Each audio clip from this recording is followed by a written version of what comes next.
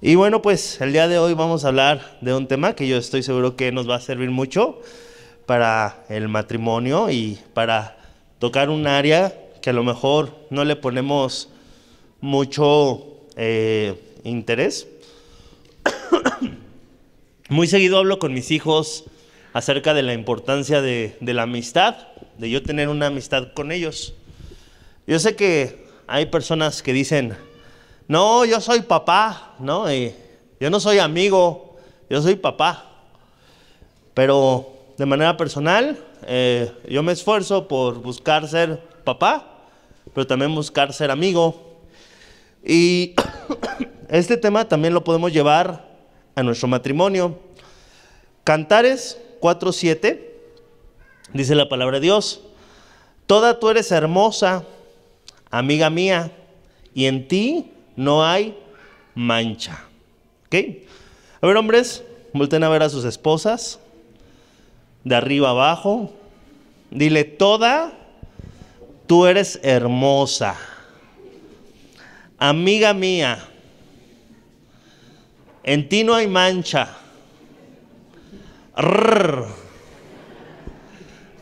Ok.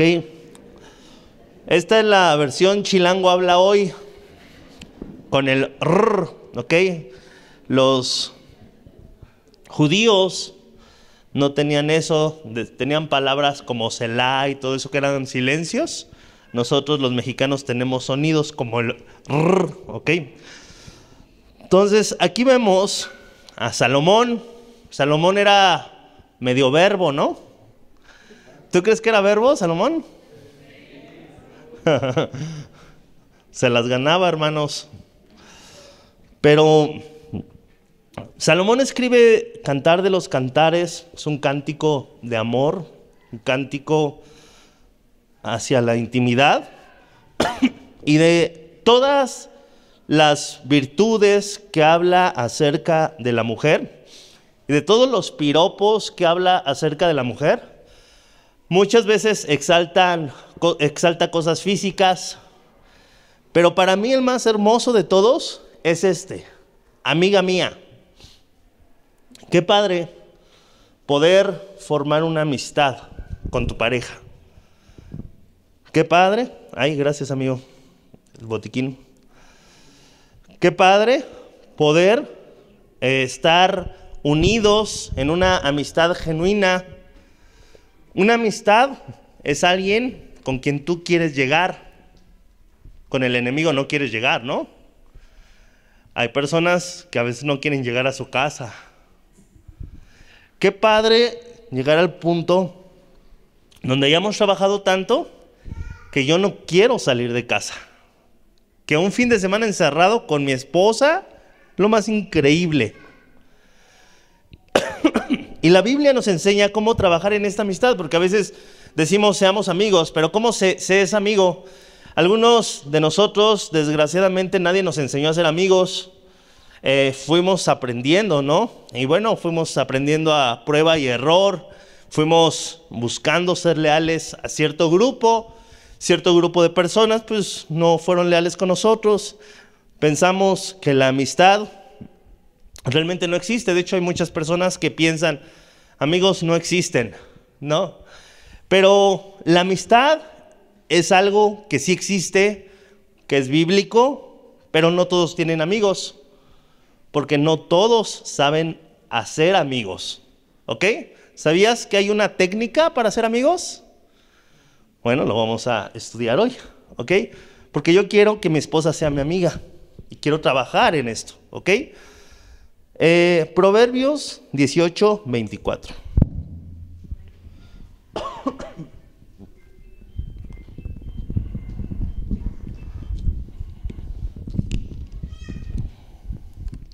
Ojalá pudieran anotar para todos estos principios, ponerlos en práctica. Nos va a ayudar mucho.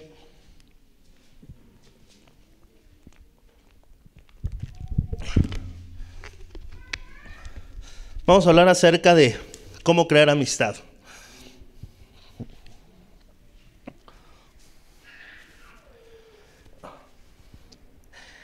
El hombre que tiene amigos ¿Qué dice la Biblia? ha de mostrarse amigo. Mucha gente quiere que los demás sean buenos amigos, pero aquel que quiera tener amigos debe demostrarse amigo. ¿En dónde empieza la amistad? ¿En el otro? Empieza en nosotros. Si nosotros nos mostramos amigos, vamos a tener muchos amigos.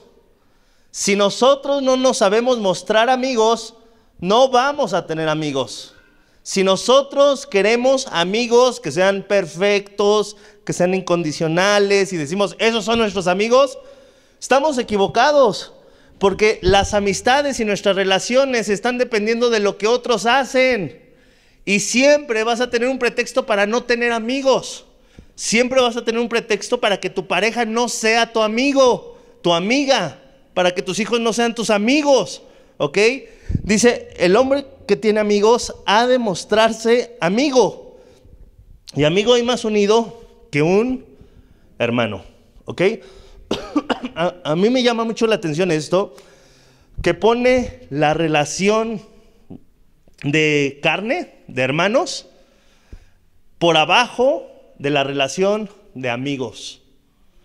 Y yo también creo que podemos tener un matrimonio, decir, somos matrimonio, y en eso podemos trabajar para elevarlo a la amistad. Ya está el vínculo. Ahora, ¿cómo llegamos a la amistad? ¿Quieres que tu pareja sea amigo tuyo? Muéstrate amigo. ¿Ok? Hay muchas personas que se muestran amigos con mucha gente, no con su pareja, que se preocupan por los problemas de otras personas, no por los de su pareja, que le dedican tiempo a personas, no a su pareja. ¿Ok? Y luego nos preguntamos, ¿por qué mi pareja no es mi amigo o mi amiga. Bueno, quizá no le has dedicado el tiempo necesario a trabajar en esa amistad, ¿ok? La amistad se trabaja, la amistad se esfuerza para poder llegar a ser amigo, ¿ok? La raíz de la amistad la encontramos en Proverbios 17, 17. Proverbios 17, 17. Dice la Biblia, en todo tiempo, ¿qué dice? Ama al amigo. ¿Cuál es el vínculo de la amistad? El amor. ¿Ok? Dice la palabra en Proverbios 17, 17, en todo el tiempo hay que hacer algo con el amigo y es amarlo. Cuando tú aprendes a amar, la amistad se da. La, confianza se da. La unidad se da. Y todo lo que vamos a ver que es la amistad, todo eso se da cuando tú amas. ¿Ok? Este amor llega a ser un amor hasta sacrificial. ¿Ok? Sacrificial es cuando pones a tus amigos antes que a ti. Algunos fueron muy buenos amigos, hicieron eso a lo mejor en la secundaria, en la prepa, o alguna vez lo, lo sigues haciendo. Pero haces eso con tu pareja. Juan 15, 13, dice la Biblia que Jesús te enseñó este tipo de amistad. Jesús es nuestro amigo, ¿sabías eso? Dice la Biblia, Juan 15, 13. Nadie tiene mayor que amor que este, que uno ponga su vida por sus amigos. ¿Ok? Entonces, la amistad involucra a veces un amor sacrificial. Para que la amistad perdure, yo tengo que amar sacrificialmente. ¿Ok? Yo quiero que tú tengas algo en tu mente en cuanto a la amistad. Los amigos fallan son imperfectos. Cuando tú estudias teología, hay una doctrina muy importante que te hace no ser tan sentido. Y esta doctrina se llama antropología bíblica. La antropología bíblica nos enseña la naturaleza pecaminosa del hombre. Por cuanto todos pecaron, ¿cuántos? Todos están destituidos de la gloria de Dios. Todos son pecadores. Voltea a tu alrededor y di, todos. Voltea a ver al más santurrón y dile, hasta tú. todos, hasta yo, todos. Todos. Es bueno saberlo. ¿Por qué? Porque cuando mi amigo me falle, yo no me voy a sentir eh, rechazado, sino que voy a entender que es parte de la naturaleza caída del hombre fallar. Ahora, esto no significa que yo lo voy a hacer, pero sí significa que cuando alguien me falle, yo entiendo que el único del cual puedo yo esperar perfección es de, de Dios. Ni de tus mejores amigos, ni de tu pareja, ni de tu esposo, ni de tu esposa, ni de tus hijos, a veces hasta ni del firulais. Bueno, a veces los firulais sí, ¿no? Pero realmente el entender esto de la naturaleza del hombre es importante. Por eso nosotros tenemos que aprender a vivir en la gracia de Dios para tener amistades, ¿ok? A mí me gusta el caso de Jesús, ¿no? Cuando se acercó Judas a entregarlo y Jesús le dijo, amigo, ¿a qué has venido? Jesús estaba dispuesto a dar la amistad a pesar de que el otro no se la merecía. Y creo que ahí nace la verdadera amistad. Que nosotros estemos dispuestos a dar ese amor que viene de Dios hacia las personas de nuestro alrededor en este caso, hacia nuestra pareja. ¿Ok? Tú dirás, bueno, pues quizá es electivo, ¿no? Si yo quiero dar este tipo de amor. Bueno, la Biblia dice que no, no es selectivo. Primera de Juan, capítulo 4, versículo 7.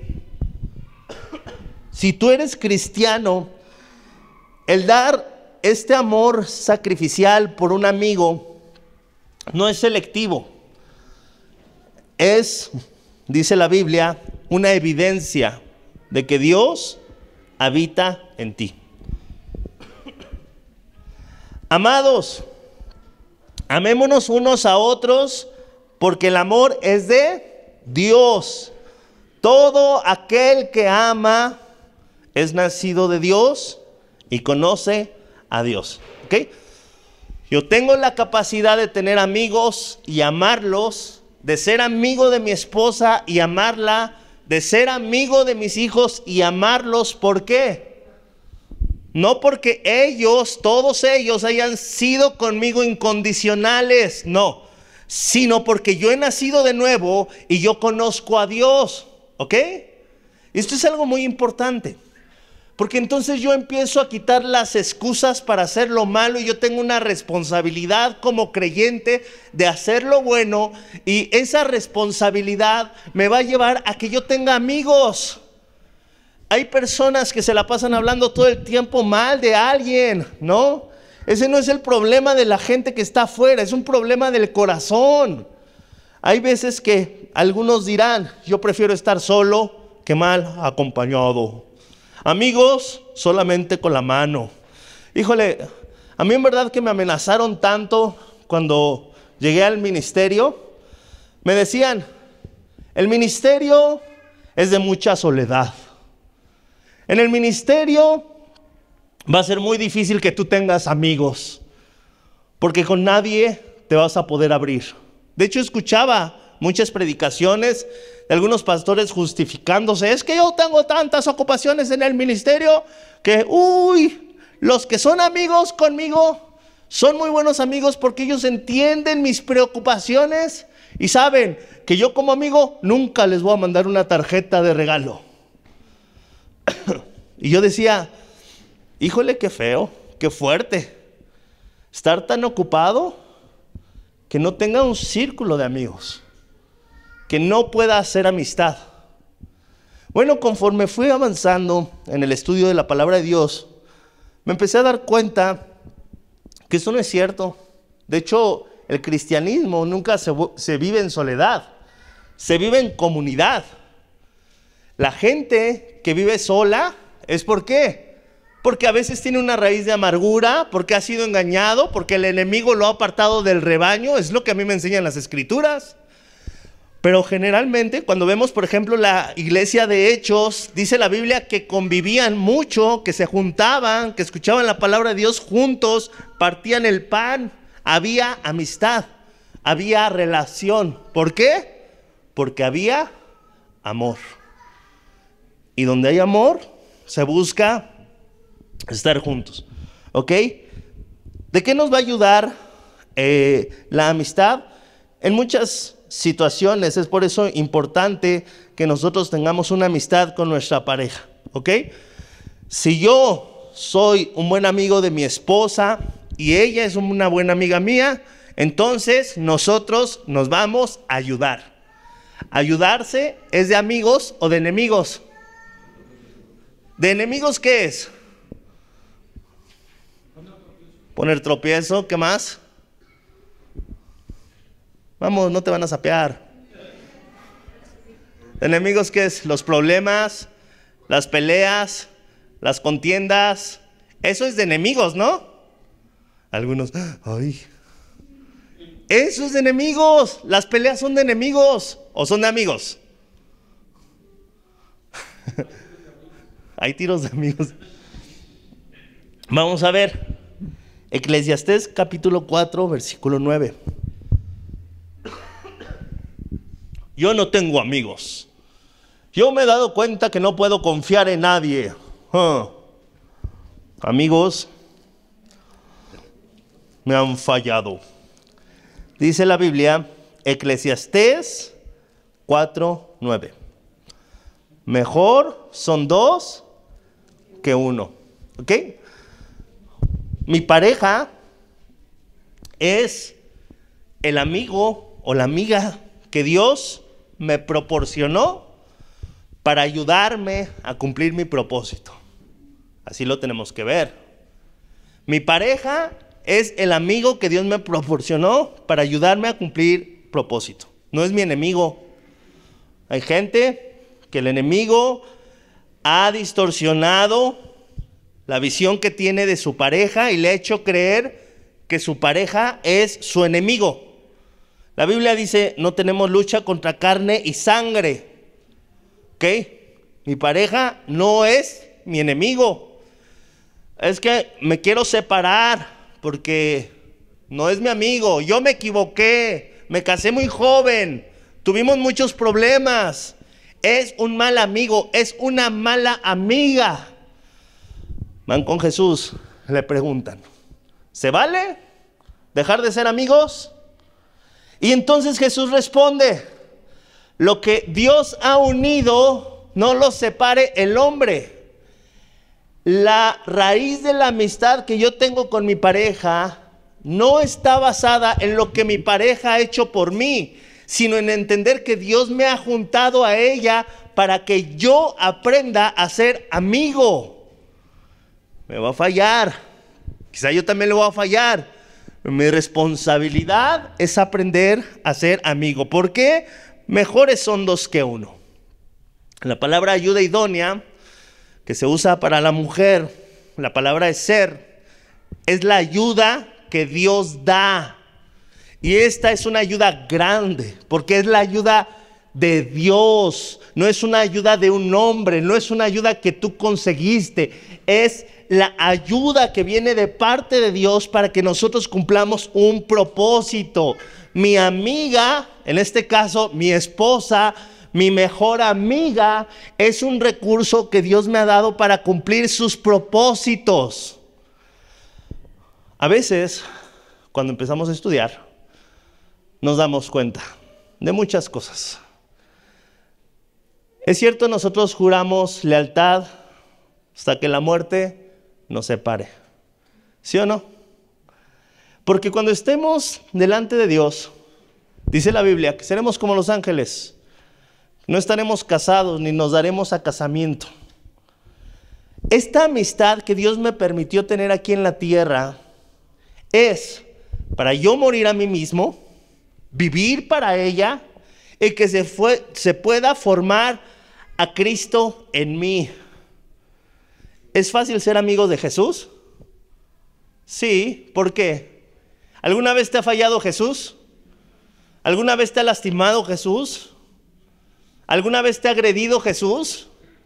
¿Alguna vez te ha humillado Jesús? Es fácil ser amigo de Jesús.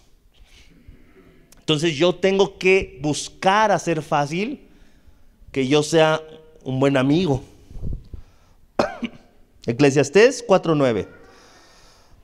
Mejores son dos que uno, porque tienen mejor paga de su trabajo. También esta amistad ayuda a que haya ayuda en lo económico. ¿ok? Entonces, mi amistad con mi pareja es la ayuda de Dios. Mi amistad con mi pareja me va a ayudar a mi economía en muchos sentidos. Es mejor una pareja, escuchen muy bien, que se ponen de acuerdo en lo que van a gastar, que una pareja que no toca el tema. Tengamos mucho cuidado. Ah, es que yo soy el hombre, la cabeza, el administrador y no enseñar nada. Yo no sé, a mí me ha ayudado ser transparente en las finanzas. Decirle, amor, esto va para acá, esto va para acá, esto va para ti, esto va para mí. Y ya. Y a veces, cuando ya se acaba el dinero, que me dice, ¿y en qué se fue todo? Aquí está. Es padre, ¿por qué? Porque juntos podemos construir algo. Siempre lo oculto, en lo oculto se mueve el enemigo, ¿sí o no? Y cuando yo quiero esconder algo, aguas. Entonces, a lo mejor es un tema que nunca lo habías escuchado, ¿no? Y que nadie te enseñó y tú dijiste, ah, bueno, pues yo llevo la responsabilidad y ya está ahí. Pero personalmente a mí me ayuda a no ser malgastado, a administrar bien los recursos. Porque si mi esposa no se enterara en lo que yo gasto todo, ¿sabes? A lo mejor los gastaría mal. A lo mejor sería injusto. A lo mejor no repartiría bien. Yo sé que aquí hay muchos hombres que se quedan con muy poco para darle todo a su familia. Y en verdad que es hermoso. Pero siempre es importante que haya esta eh, interacción, esta amistad en cuanto a las finanzas. No somos enemigos, no, somos amigos. A ver, mi amor, le digo a mi esposa cada vez que empieza un año, a ver, amor, ¿en qué vamos a trabajar este año? Ah, bueno, enero, rosca de reyes compramos. Febrero, San Valentín celebramos. No, no es cierto, esa es una canción de la onda vaselina. Nuestros gastos, enero, ya tenemos, ¿no? Teníamos pensado hacer unos arreglos de la casa. Bueno, los dos nos apretamos para hacer esos arreglos. Febrero, traigo un choque en mi camioneta. Bueno, febrero va para sacar el choque. Siguiente mes, pero es padre estar unidos, ¿sabes? Y, y trabajar juntos. Y decir juntos lo hicimos, juntos lo pensamos, juntos lo usamos, juntos lo hicimos crecer, cuidamos la plantita y no hay desbalances, somos amigos. ¿Ok? Vámonos a, a ver de qué manera hacemos crecer esto. Es muy importante. Porque si cayeren, Matrimonio, es importante que mi pareja sea mi amigo, mi amiga, porque yo tengo debilidades. ¿Cuántos de aquí tienen debilidades? A ver, levanten su mano. ¿Y cuántos están peleando solos? Fíjate, muchos no saben las debilidades de su pareja. ¿Por qué? Porque cuando se las dicen, lejos de ser una amiga o un amigo, se vuelven un enemigo. Híjole, eso es difícil. ¿Qué es lo que pasa cuando tú vas a casa de un amigo y le dices, tengo un problema? ¿Qué hace el amigo? te juzga, te dice, eso te pasa por quién sabe qué tanto y te la voltea y se vuelve tóxico. No, ve, ve cómo te ayuda. O sea, chiste en ese momento es ayudarte. Porque si cayeren, el uno levantará a su compañero. Es de amigos levantar al caído. Eso es de amigos. ¿Sabes? No es de amigos dejar al caído abajo. Eso no es de amigos. Ay, es que mi pareja está mal espiritualmente. No le está echando ganas. No lee. Te vuelves una persona juiciosa en vez de levantarlo. Está caído. ¿Qué tenemos que hacer? ¿Burlarnos?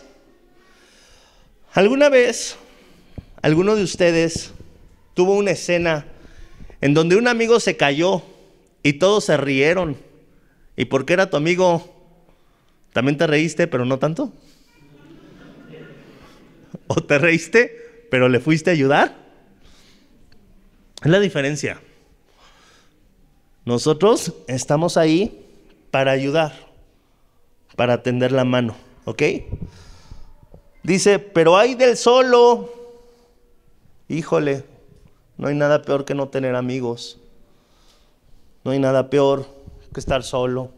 Conozco mucha gente que está sola, que se refugia solamente en su pareja, está bien, pero algún día quizá van a necesitar otros matrimonios, van a necesitar que se les abran puertas, ¿no? Hay personas que dicen, yo no necesito a nadie, por eso no tengo amigos, estoy bien, mi trabajo estable, todo bien, todo tranquilo. De repente, trabajo deja de estar, las puertas empiezan a cerrar. ¿Y quién tiene más posibilidades de salir adelante? ¿Alguien que tiene amigos o alguien que no tiene amigos? Es importante la amistad. Hay que aprender a ser amigos. Hay que construir puentes con cristianos y con no cristianos. Hay que mostrar a Cristo más con nuestra pareja. ¿Qué es lo que hago yo cuando mi pareja cae? Si yo no le ayudo a levantarse, no me muestro amigo. ¿Me ayudará mi pareja a levantarme cuando yo caigo? No. Una vez me, tocó en mi adolescencia ir con unos líderes que se iban peleando por algo, por un error que cometió eh, el hombre y le iba dice y dice y dice y dice y dice a la mujer. Generalmente ellos eran mayores que yo, yo nunca me metía, ¿no? Yo nada más escuchaba. Llegó el punto donde sí le dije a este líder, oye, pues ya párale, ¿no? Ya cometió el error. ¿Y sabes qué me dijo? Es que el mes pasado yo me equivoqué. Y no sabes, dos semanas no se cayó. yo, bueno, tú síguele. A lo mejor esa persona no sabía ser amigo, pero se puede enseñar a ser amigo. Se puede enseñar. ¿Ok? Se enseñan los errores del otro, en las debilidades del otro, en la necesidad del otro. ¿Ok? Dice la palabra de Dios. También, si dos durmieren juntos, se calentarán mutuamente. Wow, qué padre ser amigo de mi esposa. ¿Por qué? Porque voy a dormir calientito y no precisamente de los pies. Hay algunos que ya no duermen calientitos porque no han sabido ser buenos amigos. En verdad que es importante trabajar la amistad. Porque si tú trabajas en la relación, si tú trabajas en una amistad incondicional, es padre porque también en el área sexual se vuelve algo incondicional. Algo que cuando mi amigo tiene una necesidad, yo como amiga le ayudo a suplir esa necesidad. Pero si es, si es mi enemigo y tiene esa necesidad, ¿le voy a ayudar? No, porque no has sabido suplir mis necesidades. Ay, qué horrible. Qué horrible. El matrimonio no es para eso, es para hacer amistad. El matrimonio, en la palabra de Dios, es comparado con un jardín, con una fuente. Es nuestro paraíso, es nuestro, nuestro sustento en muchas situaciones. ¿Ok? Si dos durmieran juntos, se calentarán mutuamente. Mas, ¿cómo se calentará el solo? Y si alguno prevaleciere contra dos, dos le resistirán. Dice la Biblia que vamos a tener enemigos. Y sabes, si tú tienes un amigo, vas a poder resistir. Pero si tú no tienes amigos, vas a estar solo peleando. Qué feo estar casado y estar solo, defendiéndote, sin nadie que dé la cara por ti. La, al lugar al que queremos llegar en nuestro matrimonio y en nuestra amistad con nuestra pareja, lo encontramos en el Salmo 133, versículo 1. Y me encantaría que cada uno de nuestros hogares se convirtiera en lo que dice este versículo. Muchas veces este versículo ha sido usado para la congregación. Pero qué padre llevar esto a mi hogar. Mirad cuán bueno y cuán delicioso es habitar los hermanos juntos en, repite conmigo, armonía. Por favor. Ay, sí, ay, sí, no dijiste nada. Repite conmigo, armonía. La necesito. La quiero. ¿Cuántos quieren armonía?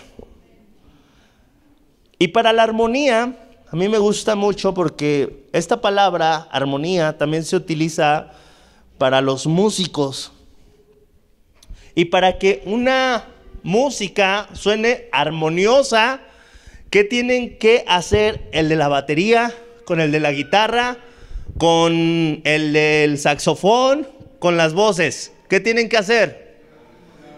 Trabajar juntos ponerse de acuerdo. La armonía llega no cuando están callados los dos sin decir nada para no pelear. Eso no es armonía. Armonía es cuando ya han hablado tanto que saben lo que al otro le lastima y no tocas eso para no lastimarlo, porque eres amigo. Buscas solucionarlo, buscas que el otro esté bien, que el otro esté cómodo. ¿Ok? Para que nosotros eh, construyamos una amistad fuerte, necesitas ser fiel a tu amigo, ser fiel a tu amiga. Algunos de ustedes quizá ya pasaron por un proceso de infidelidad y dicen, ¿cómo puedo yo considerarlo mi amigo si me falló? ¿Cómo puedo considerarla mi amiga si me falló? volvemos al mismo principio. Nosotros damos amistad desde el amor que hemos recibido de parte de Dios. Y la restauración se da no cuando el otro cambia.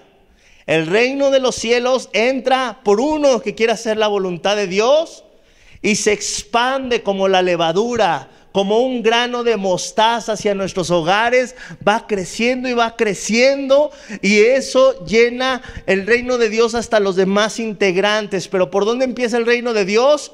Por uno que quiera hacer la voluntad. ¿Serás tú ese uno? Proverbios 27:10 dice la Biblia,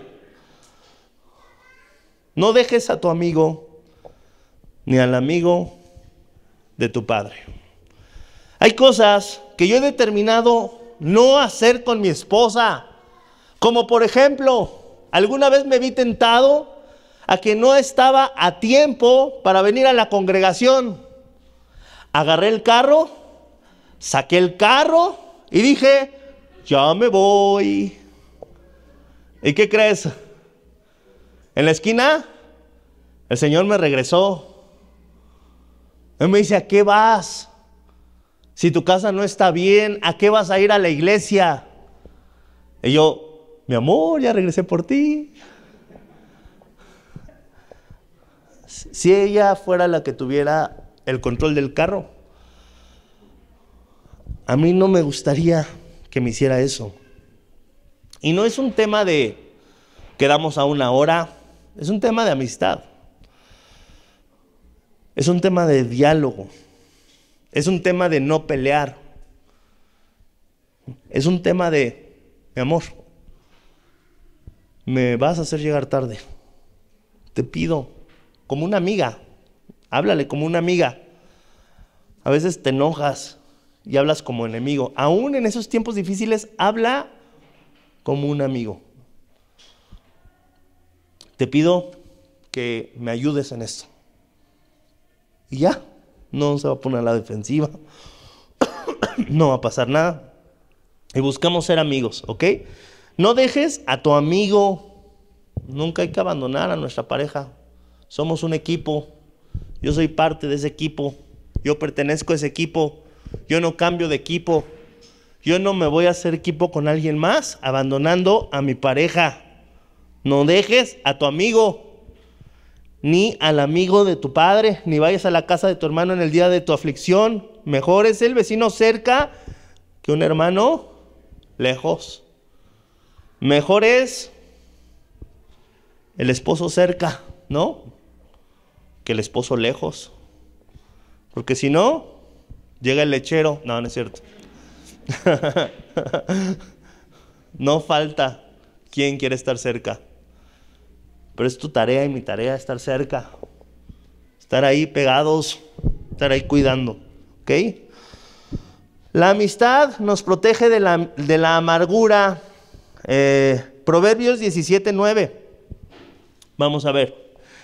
Dice la Biblia, ¿qué es lo que pasaba cuando en tu grupo de secundaria uno de tus amigos hacía algo y llegaba la maestra y decía, si no me dicen quién fue, todo el salón va a tener un punto menos. Los amigos que hacían se callaban. ¿Por qué? ¿Eso les afectaba? Sí, pero eran amigos. Fíjate, el que cubre la falta, ¿qué busca? Amistad, ¿no? Pero por ahí estaba, ¿no? La chavita de lentes. Maestra, yo lo vi, fue él. ¿Esa chava tenía amigos? ¿Tenía dieces? ¿Tenía amigos? No. Híjole, ¿qué es mejor? ¿Un diez o un amigo? Yo no sé. ¿Tú qué quieras para tu matrimonio? ¿Tener diez de tu perfección o tenerla como amiga o como amigo? Dice la Biblia, el que cubre la falta que busca amistad. Más al que lo divulga, aparta al amigo. Hay un video, ¿no? En internet que habla del matrimonio y dicen, ¿cuántos años llevan? 50 años. No, pero si lo conociera, él me pegaba, él me hacía y él me, eh, me, me daba y el otro. Y en una entrevista a nivel nacional. Híjole. ¿Se puede ser amigo de alguien que se la pasa diciendo lo malo que hiciste? Navidad, se junta la familia, se le ocurre al esposo, ¿qué creen? ¿Ese hombre va a poder formar una amistad? Si la mujer, ay, ¿ahora qué creen que hizo este? Todos riéndose. Seamos buenos amigos. Nunca hablemos mal de nuestra pareja, con nadie, con nadie, ni con tus amigos porque ella también es tu amiga. Sé fiel, sé leal. Aprende a ser amigo. ¿Ok? Proverbios 16, 28. van a venir personas que van a hablar en contra de tu esposa o en contra de tu esposo. A veces esas personas van a venir vestidas de ovejas o de suegras o de suegros, no. Y van a decir, ay, mijito, tu marida no te cocina todos los días, no te da calientita tu sopa. Ay, mira qué, qué arrugadito andas. y te empieza a poner en contra de tu pareja. Y empieza a exaltar sus debilidades. ¿Tu pareja tiene debilidades? Sí. ¿Tú tienes debilidades? Sí. ¿Tu mamá tiene debilidades? ¿Tu papá? Todos. Pero ¿por qué se van a poner a hablar mal de mi amiga? Híjole, este es un tema, ¿eh? Porque a muchos les da mello decirle a su mamá, no hables de mi esposa. ¿Por qué? Es que la Biblia dice honrarás a tu padre y a tu madre. Sí, pero la Biblia dice que amarás a tu esposa y darás tu vida por ella. Uh, gancho al hígado. Híjole. ¿Te cuento chisme? Ah, no es cierto. Testimonio, ¿no? Se llaman aquí.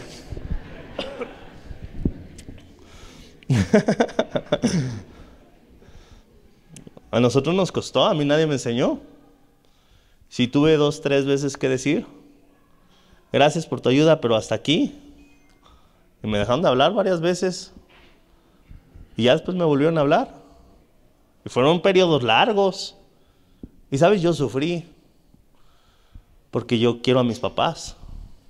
Pero yo entendía que la Biblia me llamaba a cuidar a mi esposa. Es que mi, mi, mamá tiene la razón. Sí, pero tu mamá ya no es tu esposa. Cuidado con aquellos matrimonios que todavía viven con el papá o la mamá ahí, de arrimadillos. Porque es que estamos en su casa. Pues mal hecho. Mal hecho. Porque el casado casa quiere. Lo que Dios unió, no lo separe el hombre, por tanto dejará el hombre a, su padre y a su madre. ¿Ok? Ya planéalo si hay alguien que esté en casa de sus papás, porque cuando tú estás en casa de la suegra, das permiso a la suegra de opinar. Y si hay un motivo por el cual salir inmediatamente, todos, sí o no, a ver, díganme aquí cuántos se hubieran ahorrado un dinero si nos quedábamos en casa de nuestros padres? Levanten la mano todos los que nos hubiéramos ahorrado dinero. Pues todos. ¿Y por qué nos fuimos? ¿Por qué nos fuimos? era, era alto el precio, ¿no? Que se tenía que pagar. Vámonos. ¿Ok? Dice Proverbios 16, 28. El hombre perverso levanta contiendas y el chismoso aparta a los mejores amigos. Tómala. Cuando alguien empieza a hablar de tu pareja, chismoso, chismosa, puede llegar a apartar a, a tu pareja de ti, de tu amistad. Un chismoso, una chismosa que nomás anda ahí de metiche en tu hogar, opinando de tu esposa, de tu esposo. Es un hombre perverso, según la Biblia. ¿Ok? Tener una amistad te va a ayudar a fortalecerte emocionalmente. Job 6, 14. Todos nosotros tenemos luchas emocionales. Pero quien tiene amigos va a poder estar fuerte en esta área. Dice, el atribulado, todos vamos a estar atribulados en algún momento es consolado por su compañero, por su amigo. Híjole, yo creo que vale mucho la pena trabajar en una amistad, sabiendo que voy a tener debilidades, que lo que yo siembre, voy a recoger. Y yo no quiero recoger juicio. Si yo soy juicioso con mi pareja, voy a recoger eso. Pero si yo consuelo, si yo amo, si yo cuido, voy a recoger eso. Dice, aún aquel que abandona el temor del omnipotente. ¡Wow! Dice la Biblia que una amistad, una verdadera amistad, te va a ayudar hasta en el momento en que quizá pienses abandonar al Señor. Qué padre tener un amigo que se preocupa por mí, que sea mi pareja, que se dé cuenta que mi fe me está fallando, que no me juzgue, sino que busque consolarme en ese tiempo difícil. Primera de Corintios 15, 33. Un amigo edifica, no destruye. Tengamos cuidado, somos amigos, pero nuestra amistad con nuestra pareja no es una amistad para ser chismosos, para hablar mal de los hermanos. Sabes que somos pareja para, para, hacer, para decir cosas malas. Primera Corintios 15:33 dice, no erréis. Las malas conversaciones corrompen las buenas costumbres. Hay parejas que están corrompidas porque han abierto la puerta de hablar mal. Ya, alguien de aquí, no quiero que levantes tu mano, obviamente. ¿Ya abriste esa puerta de faltar al respeto cuando te enojas? Cuidado. ¿Hablas mal de alguien cuando hace lo malo? Ese alguien, cuidado. Hay muchas personas que explotan y en ese exploto y desahogarse, ¿sabes qué es lo que pasa cuando tú te desahogas con tu amiga y con tu amigo? Los contaminas. Hay mujeres que odian al jefe de su esposo y ni siquiera lo conocen por las malas conversaciones, siempre llega hablando mal y empieza a corromper el corazón de la esposa y viceversa, ¿no? Tengamos cuidado. Ay, mi primo, es que tú no sabes de chiquito lo que nos hizo. Ya, no conoces al primo de la esposa y ya te cae gordo. Corrompe. Las palabras corrompen. ¿Ok? Por último, una correcta amistad va a servir para ser mejores. Yo soy mejor con mi esposa que solo. Mucho mejor. Soy mejor con tres amigos que solo. Dice la Biblia, Proverbios 27, 17. hierro con hierro se aguza. ¿Ok? ¿Cómo se va perfeccionando el hierro? así, chocándolo, ¿no? Como espada con espada se afila. Dice, así el hombre aguza el rostro de su amigo, ¿ok?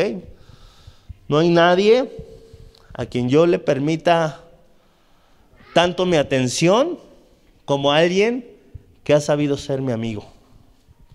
Va a haber mucha gente que da opiniones, pero alguien que ha sabido ser tu amigo, vas a prestar atención. ¿Vas a prestar atención a alguien que se la pasa ofendiéndote? Vas a decir, es una más. Pero a un amigo le vas a prestar atención. Por eso es tan importante. Trabajar en una amistad con nuestra pareja, buscar ser amigo. Buscar que cuando mi pareja me falle, yo quiero ser amigo. Yo voy a ser amigo. Me voy a esforzar por ganarme la amistad y el corazón de mi pareja. Alguna vez mi hijo más chico abrió su corazón conmigo y me dijo, papá, la verdad no te quiero. Y en ese momento en mi carne, yo dije, me quedan dos y eso sí me quiere, ¿no? Y así hay papás. Ay, no, pues este es mi consentido, ¿no? Porque es el que más me ama. A veces nuestros consentidos son los que más nos aman a nosotros. Eh, los, que te dicen palabras bonitas o algo así, ese es tu consentido. Pero como papás no podemos hacer eso. Entonces, cuando mi hijo me dijo eso, yo sentí algo adentro, ¿no? Así de, ah, ¿qué voy a hacer? Pensé, eh, ya no le voy a comprar tantas cosas, le voy a comprar los otros, así como para que se le quite, ¿no? Fue lo primero que pensé. Lo segundo que pensé fue, me voy a ganar su corazón. Lo empecé a llevar a citas, a hablar con él, pasar más tiempo con él, tener más cuidado de mis palabras. Y ahorita yo te puedo decir que gracias a Dios he formado una amistad con mis hijos. No se me dio, la trabajé. Con mi pareja no se me dio, la trabajé. Con mis amigos no se me dio, la trabajé. Pero vale la pena trabajar en amistades. Porque el mayor beneficiado de una buena amistad somos nosotros mismos. Hay del solo que no tiene quien le levante. Ahí en tu lugar, ponte de pie, por favor. Toma las manos de tu amiga, de tu amigo. Y hombres, me gustaría, hombres, que le dijeras a tu esposa que te gustaría mejorar en esa amistad que tú le has ofrecido. Díselo con tus palabras. Dile a lo mejor qué área te ha fallado. Dile, yo quiero ser mejor amigo.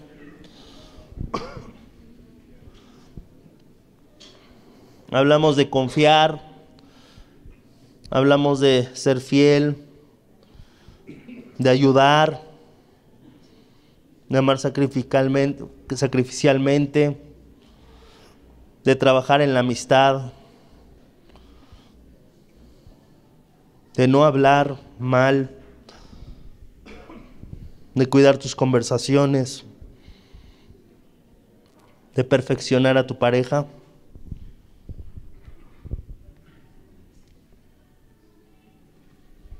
Todos los que no lo están haciendo los vamos a pasar aquí enfrente. Ah, no es cierto. Aprovecha este momento, ¿ok? Invertiste tanto tiempo en tantas amistades que ya no están. Vale la pena echarle ganas por por esta amistad. ¿Ok? Mujeres, pónganse de rodillas y pídanle perdón. No, no es cierto. Mujeres, díganle también a sus esposos que van a ser mejores amigas. Dile, voy a ser mejor amiga que tus mejores amigas. Mejor amiga que todas las personas que has conocido.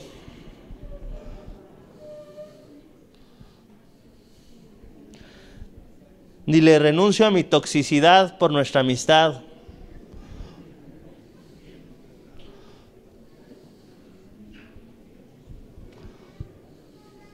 Seré fiel, buscaré armonía, buscaré hacer equipo, buscaré amarte, trabajar en esta amistad, no hablar de ti.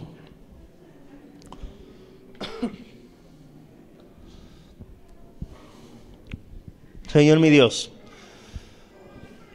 el día de hoy te damos gracias, Padre, porque sabemos que estas amistades que tenemos a nuestro lado, nuestra esposa, es la amiga que tú escogiste. Durante toda nuestra vida nosotros escogimos a nuestros amigos, Señor. Muchos de ellos están, muchos de ellos ya no están. Pero tú escogiste a nuestra pareja, mi Señor. Tú escogiste aquella amiga, aquel amigo que iba a acompañarnos durante toda la vida. Permítenos siempre tener esta visión de mi pareja. No es mi enemigo, al contrario. Tenemos que trabajar en esta amistad, fortalecerla, levantarla, porque es trabajo de los dos. Gracias, Señor, por el amigo que me diste, por la amiga que me diste. Gracias, Padre. No pudiste haber escogido mejor. Te amo y te bendigo y te agradezco.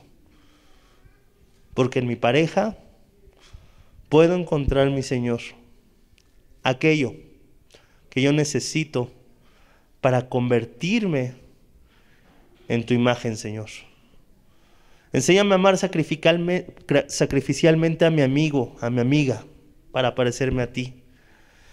Enséñame a esforzarme, a morir a mí mismo, a ponerla, ponerlo antes que a mí para parecerme a ti, Jesús. Fortalece la amistad de nuestro matrimonio y permítenos trabajar por ella. Que la clase de hoy no pase como una clase más, sino que busquemos esforzarnos para ser no solamente compañeros o medios amigos, sino los mejores amigos de nuestras familias que cuando la gente nos vea pueda decir que padre se llevan, ellos son amigos. Que nuestros hijos no digan, yo no quiero casarme. sino que digan, yo quiero tener un amigo como lo tiene mamá, como lo tiene papá. Yo quiero un matrimonio así. Ayúdanos, Señor. Te lo pedimos en el poderoso nombre de Cristo Jesús. Amén. Y amén. ¿Qué tal? Me da muchísimo gusto saludarles y quisiera simplemente comunicarles que gracias a todos ustedes a través de todas las naciones en el mundo que aman la palabra de Dios, eh, y que realmente están interesados en que nosotros como organización Vida Nueva para el Mundo continúe predicando el Evangelio de la gracia de Jesucristo, podamos nosotros continuar haciéndolo gracias a sus donaciones. Este año cumplimos 46 años de ministerio, 46 años donde hemos predicado, pensamos y consideramos de una forma fiel el Evangelio la sana doctrina de Jesucristo. Nosotros con todas estas donaciones tenemos que sostener pastores, misioneros, obras, equipos de televisión y aún continuamos buscando la manera de poder elevar este ministerio. Hasta este momento quiero que ustedes estén enterados, no tenemos una sola propiedad. Y así hemos trabajado durante 46 años porque le damos la importancia a la evangelización, a las misiones y también a los hombres de Dios para levantar más pastores. Le damos las gracias, que pueda Dios con su gracia tocar sus corazones y que puedan ustedes invertir en un terreno donde es fructífero, porque creemos que hemos producido bastante, bastante buen fruto para la gloria de Dios. Gracias por sus aportaciones y por las donaciones que sabemos ustedes continuarán haciendo para que podamos continuar siendo fieles en la predicación del Evangelio de la gracia de Dios. Que Dios les bendiga.